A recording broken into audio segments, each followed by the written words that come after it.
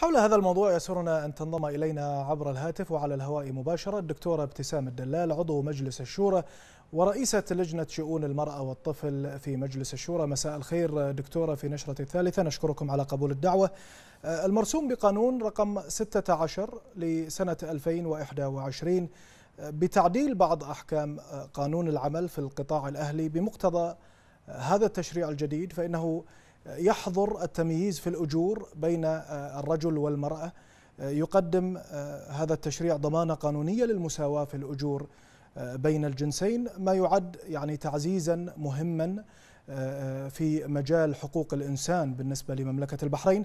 حدثينا عن أهمية هذا التشريع فيما يتعلق بدور ومكانة مملكة البحرين على المستوى الدولي.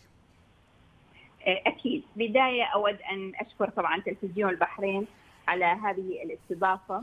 وهي راح تمكننا طبعا إحنا في السلطة التشريعية بأنه نعبر عن فخرنا واعتزازنا بالرؤية الملكية والإرادة السامية من لدن حضرة صاحب الجلالة الملك حمد بن عيسى آل خليفة. عاهل البلاد المفدى حفظه الله ورعاه بأنه البحرين تكون من الدول اللي تأخذ بالإجراءات الاستباقية على مستوى العالم في مجال إرساء مبادئ وأسس المساواة بين الرجل والمرأة وتحقيق أيضا تكافؤ الفرص وذلك من خلال منظومة تشريعية متكاملة تتفق هذه المنظومة مع الرؤية الاستراتيجية الاقتصادية لمملكة البحرين 2030 وأيضا تلبي متطلبات أهداف التنمية المستدامة للأمم المتحدة.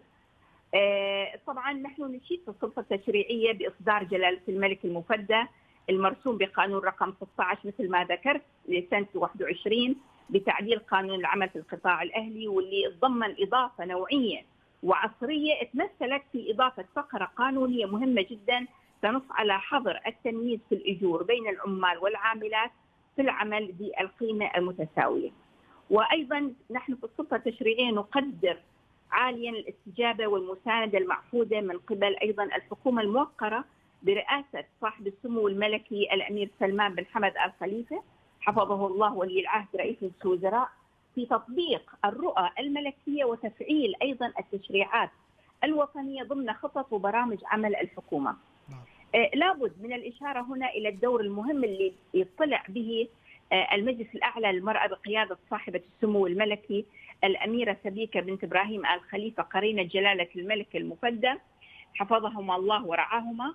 واللي أسهم هذا ال هذا ال المجلس أسهم على مدى 20 عام من تأسيسه في وضع الخطة الوطنية للنهوض بالمرأة من خلال دعمه ومساندته للعمل المشترك في إصدار تشريعات والقوانين جميعها اللي تعزز مكانة المرأة ودورها الريادي نعم. طبعا هذا المرسوم رقم 16 سوف يكرس حقوق المرأة البحرينية العاملة راح يعزز من دورها ومبادراتها الريادية في قطاعات العمل المتنوعة خاصة في القطاعات الإنتاجية وأيضا يعد برأينا حافز نحو المزيد من البذل والعطاء نعم. فضلا عن كونه أيضا هو غطاء حمائي لحقوق المرأة نعم. خلال الممارسة العملية ومؤصل لاعتبارها عنصر أساسي لا غنى عنه في عملية التنمية الشاملة تشهدها مملكة البحرين طبعا بهذا نكون نحن جميعا متجهين نحو الرؤية الاقتصادية أو الرؤية الاستراتيجية الاقتصادية لعام 2030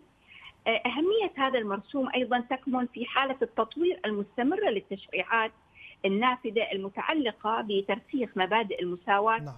وتكافؤ الفرص للمرأة البحرينية وأيضا إرساء قواعد رصينة تضمن استمرار مملكة البحرين في دعم وتقدم المرأة من خلال أطر وأدوات قانونية تعكس الإصرار على دفعها لتلعب دور محوري في نعم. المجتمع هذا المرسوم أيضا برأينا أنه يعزز من مؤشرات وضع البحرين على المستوى الدولي سوف يرفع حتما من مؤشرات البحرين على المستوى الدولي وهذا طبع شيء بالطبع شيء في غاية الأهمية. نعم الدكتورة ابتسامه الدلال عضو مجلس الشورى رئيسة لجنة شؤون المرأة والطفل في مجلس الشورى شكرا جزيلا لك.